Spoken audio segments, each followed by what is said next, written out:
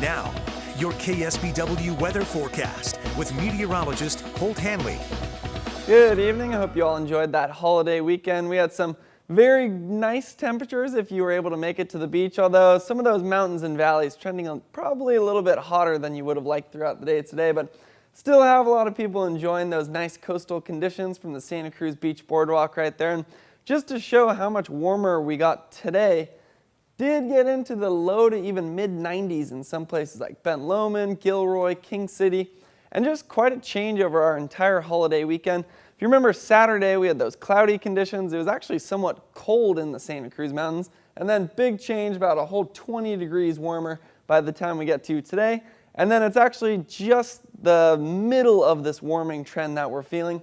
That high is going to continue to move closer to the central coast, peaking tomorrow, and then this 24 hour temperature change should look fairly similar tomorrow afternoon as well. So right now, for example, Carmel Valley, 15 degrees warmer than we were at this time yesterday. And then tomorrow expected to be maybe another 10 degrees warmer than that. Now what's driving all this heat? You can actually see all this warm air and this big ridge that's just sitting off of the coast of California. That's going to continue to move in and then that's tomorrow at 4 p.m you can just see how that high is directly over California. That's why that's the peak of the warming trend. Although throughout the rest of the week, it doesn't look like there's any cold air moving into the central coast. It looks like we will still remain above average, and especially for those inland locations. And then we'll just have to keep our eye on that cold air way off on the horizon there to see if that can eventually find its way in. But as of right now, it looks like we'll be remaining warm. Now again, just to drive home that point that tomorrow is the peak of this warming trend, this is what the forecast highs look like today.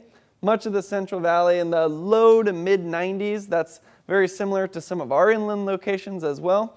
And then if we fast forward to tomorrow, that's where some of those triple digit temperatures start showing back up, places like Fresno, Sacramento, but then also some of our central coast cities getting into those triple digits as well, especially in the mountains and valleys. Now, as you can imagine, when you get that kind of heat moving into your forecast, you do have some of those heat alerts showing up. That orange color there represents the heat advisory. Few interesting things to notice. One, a number of our cities are covered in that heat advisory, especially from King City to Salinas and the Santa Cruz Mountains. But then locations along the coast look to be in the clear, although they will be above average because of those onshore winds that pick up in the afternoon and then cool things off, at least comparatively to places like Gilroy or King City. Now, what's driving all this? Again, it's that high pressure system off the coast right there. You notice that clockwise flow. What that'll be doing tomorrow is just pushing all of those clouds out of California. So we not only will have all those warm temperatures we've been talking about, but some sunshine to go along with it. And then there's a very interesting part of the forecast that we're going to have to keep our eye on over the next couple of days. It's that little cutoff low that you can see spinning counterclockwise off of Southern California right there. And that's going to be pushing some moisture into Southern California tomorrow.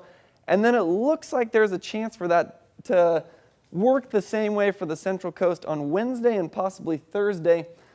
Cutoff lows are one of the things that forecast models have the hardest time forecasting. So again, we're just going to have to keep our eye on it. But right now, actually looks like some of Southern California will get some rain.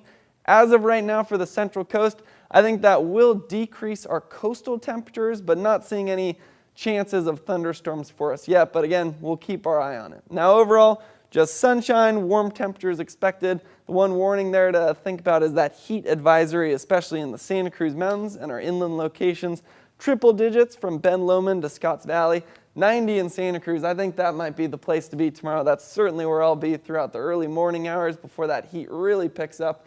And then you can also see that 101 in King City. Great temperatures along the Monterey Peninsula, 86 in Monterey there. And then a lot more sunshine ahead, but we'll keep an eye on that cutoff low to see if we get some of those clouds. Wow, look at that. All right, very good.